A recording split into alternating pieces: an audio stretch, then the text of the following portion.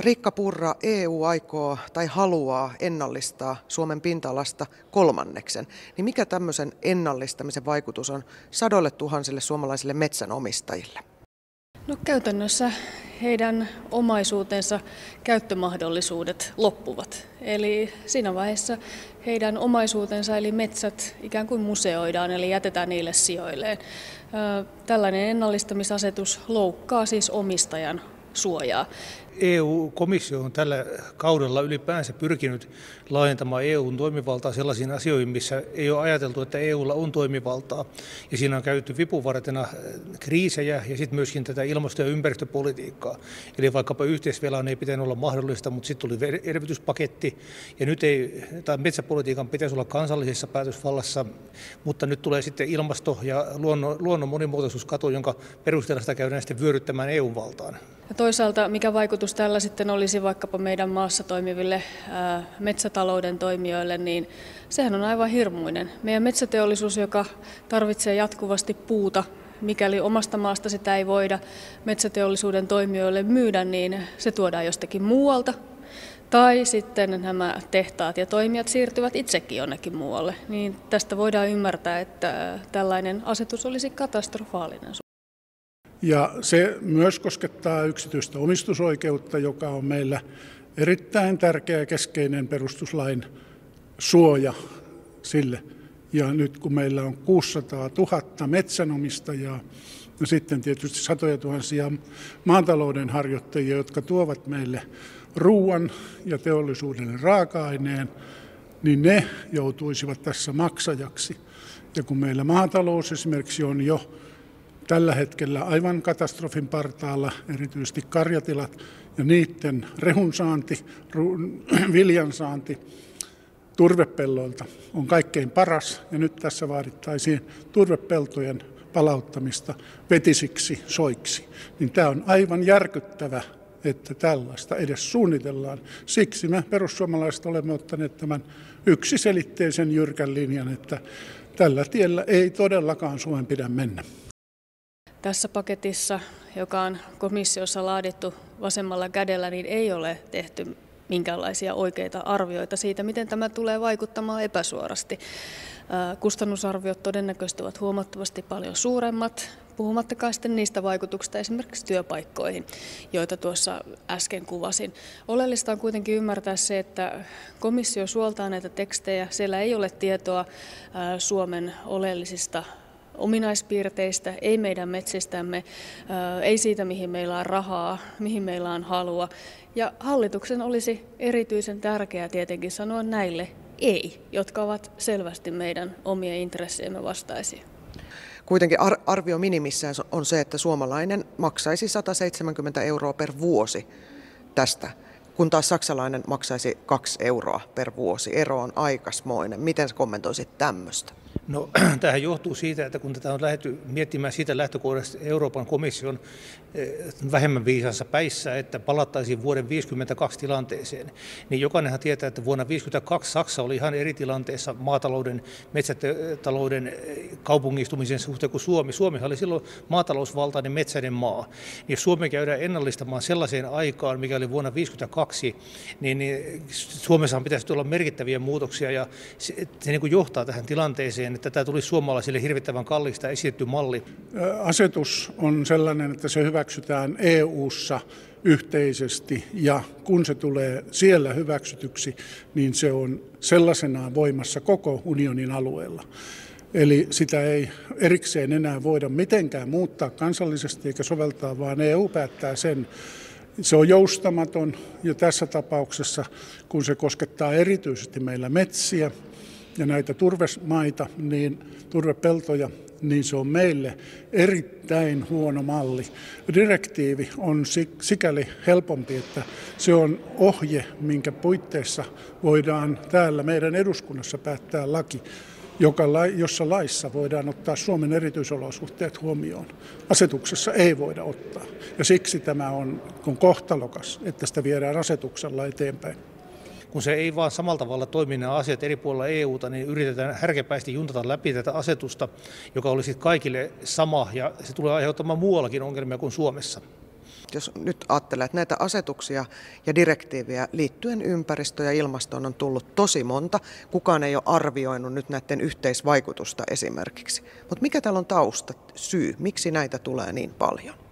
No komissio on jo siis komissiota perustettaessa ilmoittanut tavoitteekseen tämän ilmastonmuutoksen vastaisen taistelun, ja nyt komissio yrittää sitten oman näkemyksensä mukaan tehdä sellaisia toimia, joilla näitä asioita saataisiin EU-ssa eteenpäin. Tämä juuri mitä mainitsit on näille toimijoille tyypillinen piirre, että näitä ei ole laskettu eikä selvitetty ennalta, mitä nämä tulisivat vaikuttamaan. Eli rätkästään tämmöinen toimenpide, ajatellaan, että se tehoaa, eikä mietitä eikä lasketa, mitä siitä tulee seuraamaan. Näinhän ei niin kuin politiikassa ylipäänsä pitäisi voida toimia. Eli kaikkien päätösten pitäisi perustaa tutkittuun tietoon, laskelmiin siitä, mitä ne tulee maksamaan, miten ne vaikuttaa ihmisiin, heidän elinkeinoihinsa, elinmahdollisuuksiinsa. Suomen hallitus on kontallaan Brysselin suuntaan.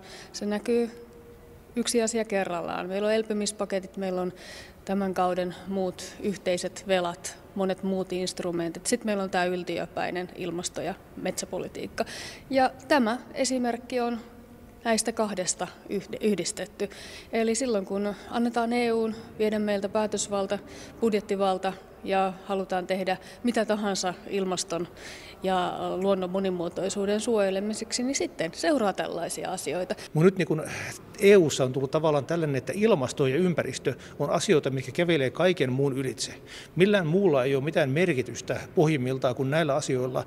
Kaikki muut saa väistyä viime kädessä. Tämä on se niin kun periaatteellinen ongelma sillä ajattelussa.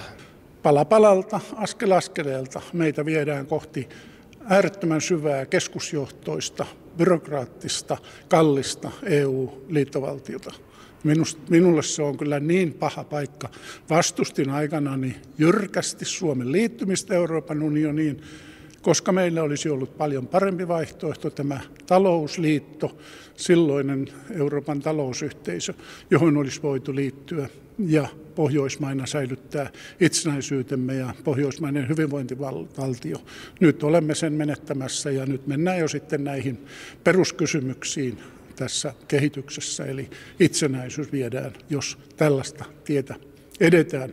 Eli Suomi yksinään tai Ruotsin kanssa kahdestaan ei pysty tätä estämään, vaikka kuinka vastustaisi, ja se on velvoittava oikeutta meille.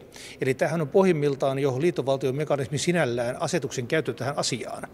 Mitä hallituksen pitäisi asiassa nyt tehdä nopeasti? No, hallituksen olisi jo pitänyt tehdä, ennakkovaikuttaa. Se on oleellinen asia, että unionissa näitä asioita valmistellaan ja ollaan mukana siellä vaikuttamassa etukäteen. Eli niin, että komissio ei esitä mitään tällaista. No, mutta nyt tässä vaiheessa, kun esitys on jo tullut, niin toivoisin, että hallitus käyttäisi sitä luottamuspääomaa, jota se on tälläkin kaudella sanonut siellä keränneensä. Eli menisi kertomaan, että tämä on Suomen kansallisten etujen vastainen, tämä maksaa hirvittävän paljon, me suojelemme omia metsiä, me teemme sen kansallisesti, me olemme huolehtineet metsiemme kunnosta, meidän itse asiassa puuaineksen määrä on kasvanut, meillä on merkittävät hiilinielut ja monimuotoiset metsät, ja me vastustamme tätä ennallistamisasetusta. Tästä asetusesityksestä oli tieto jo syksyllä 2021. Eli hallitus ja hallituksen keskeiset virkamiehet ministeriöissä ovat tienneet, että tämmöinen asia on vireillä jo kuukausia tyyliin niin kuin vuosi sitten. Eli silloin olisi pitänyt ehdottomasti lähteä vaikuttamaan jo silloin komissioon. Ottaa yhteyttä komissaari Timmermans ja hänen keskeisiin virkamiehinsä, vaikuttaa virkamieskanavien kautta, poliittisten kanavien kautta, europarlamentaarikkojen kautta. Nämä EU-asiat toimii niin, että kun se esitys tulee komissiosta, niin silloin ihan myöhäisesti niin kuin suuret mittakaavassa vaikuttaa. Esitystä voidaan viilata. Jos siellä lukee vaikka sata, niin se voidaan muuttaa 80, mutta ei se hävisi sieltä enää siinä vaiheessa, kun esitys on komissiosta tullut ulos. Täytyisi vaikuttaa aikaisemmin. Minkä takia Suomi toimii näin ja minkä takia Suomen hallitus toimii näin? Suomen hallitus tietysti on vasemmistojohtoinen. Meillä on erityisesti kaksi puoluetta, vihreät ja vasemmistoliitto, jotka tietysti yhdessä ratkaisevat sen, että hallitus pysyy kasassa ja niillä on aika iso vaikutusvalta hallituksen sisällä. Sosiaalidemokraatit, nimenomaan Marin, haluaa pitää hallituksensa pystyssä ja silloin sitten keskusta joutuu näiden muiden hallituspuolueiden puristukseen ja keskustan selkä taittui ja taipui ja taittui ja tuota, hyväksyy ja yhtyy tähän hallituksen linjaan, koska hallituksessa hallitus voisi kaatua, jos ei näin tapahtuisi. Se, että hallitus nyt näyttää olevan äh, vähän heikkona asiassa, niin johtuu tietenkin lähestyvistä eduskuntavaaleista ja siitä, että keskustan kannatus on niin kovin alhainen. Mutta jos kyseessä olisi alkukausi, niin tämä todennäköisesti menisi aivan nätisti hallituksestakin läpi. Mutta sitten on tietysti käsittämätöntä, että kokoomus pelaa kaksilla rattailla, eli tukee toisaalta hallitusta. No se perustuu siihen, että kokoomus aina kuuluttaa olevansa Suomen EU-myönteisin puolue, ja siihen tietysti kuuluu se, että ei missään olla tosissaan vastaan mitään järjettömyyksiä.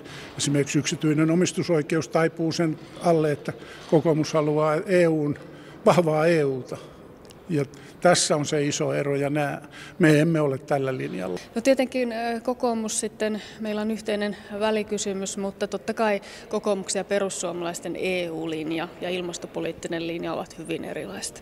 Ja monessa valiokunnassa lausuntoja tästä ennaltamisasetuksesta, kun on käsitelty viime päivinä, niin kokoomus on yhtynyt hallituksen kanssa samaan. Ja me olemme jättäneet joka paikassa oman eriävän mielipiteemme, joka on tyrmäävä. Kritisoiko kokoomus nyt sitten pääministerin lisäksi esimerkiksi EUta?